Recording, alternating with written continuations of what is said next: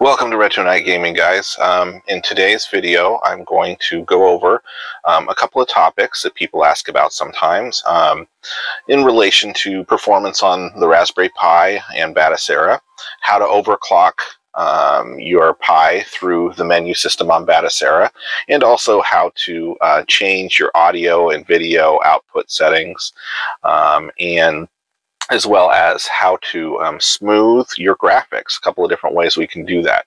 So um, let's get started. Um, the first thing we're going to do is I'm going to show you uh, really quickly, super easy, how to go in and overclock your Pi.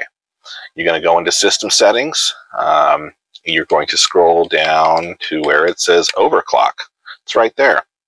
Click on it. Here are your options. Uh, none is the standard clock setting for a Pi. Now, the one I personally use is 1950 megahertz.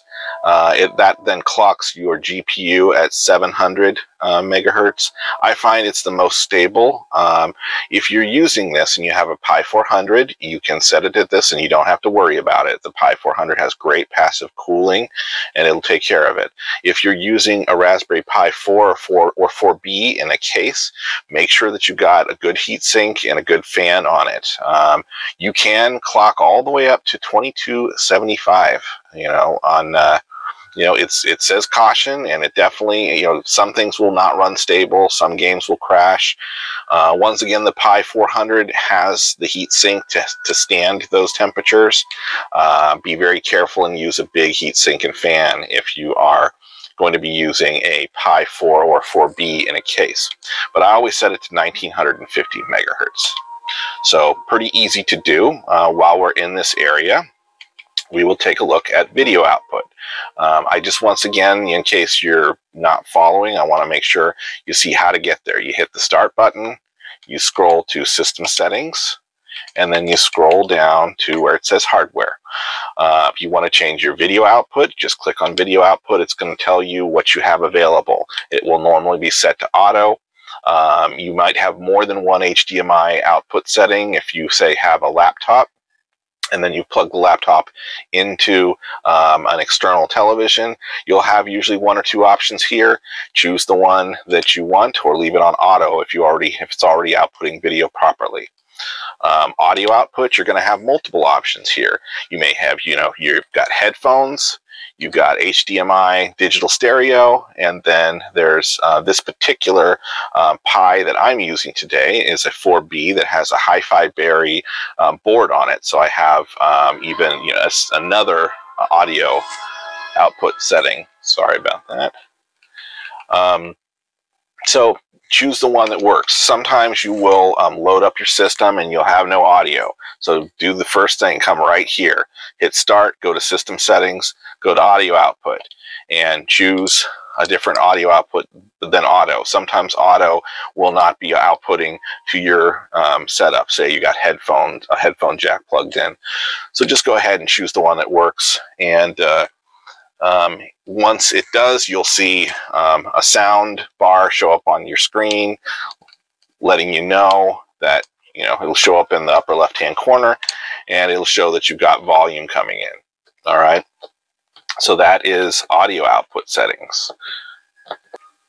Okay, so then from there, we want to go over how to smooth graphics. Um, there's two ways you can do this. You can do this system-wide, or you can do this, well, actually, I'm sorry, three ways. System-wide, individual systems, or individual games.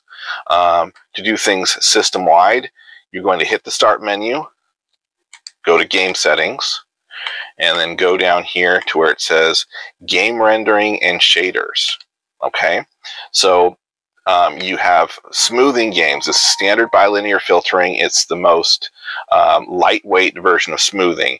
It will provide decent smoothing on 2D games, games that looks that looks pixelated, say on NES or um, other systems. You know, Genesis, Super NES. This will give a slight blur to the edges and make it look smooth. It's nice because it doesn't really take much system power. It, barely takes any system power to run it. Um, if you're going to go with shaders, that is going to pull more power from the system. Um, shaders will work on everything, but primarily uh, they work, they look best on on uh, 2D graphics. But if the the, the blur smoothing of smooth games bilinear filtering doesn't look good enough for you, go to, sh to shaders. And there's multiple choices. If you want to have scan lines, like it was an old CRT television, select scan lines and it will put it on the screen.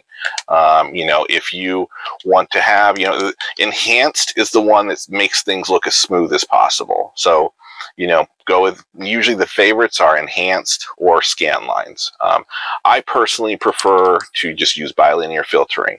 One thing to note though, if you use any of these, the higher end systems like Dreamcast, PSP, and PS1, that will be just the edge that bogs the system down. So you will either want to overclock or you will not want to use shaders for those particular systems.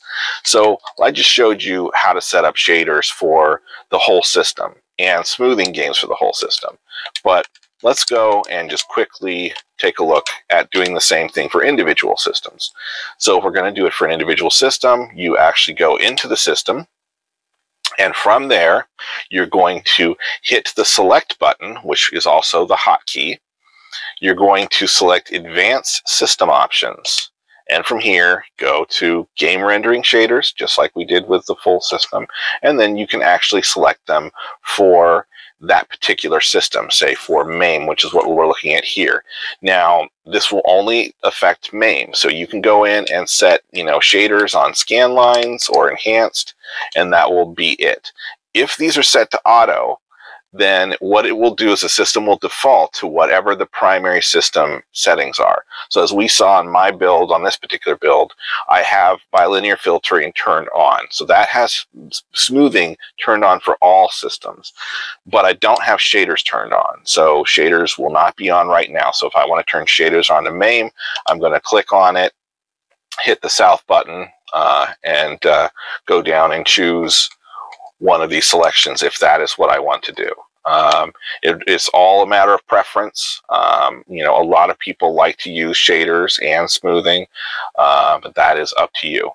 But, uh, you know, that is this particular video this time. I just wanted to help you guys overclock and uh, smooth out your graphics and decide where you want your audio and video to go. Hope you enjoy the video. If you do, give it a thumbs up and a like, and uh, I will see you in the next video.